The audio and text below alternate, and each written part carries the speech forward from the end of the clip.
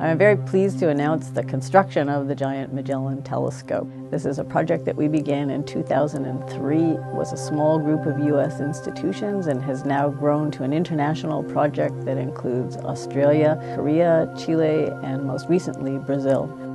The next steps as we launch construction of this telescope are to build the mount, the steel mount that will hold the mirrors for the telescope, uh, to build the uh, enclosure, which is a 22 story building that has to rotate uh, to allow you to uh, move to different parts of the sky as you're looking out with the telescope. In astronomy, the size of the telescope is everything. It dictates how much light you collect, how much detail you can see, and so as an astronomer, we always want the biggest eye we can get on the sky. It's going to be one of the biggest telescopes in the world. It's many times larger than the biggest telescopes that currently exist. So by combining the large aperture of the telescope and this extra technology, adaptive optics, we can actually see things that are 10 times sharper than the images taken with the Hubble Space Telescope. It's a, it's a new epoch in, in the field of astronomy.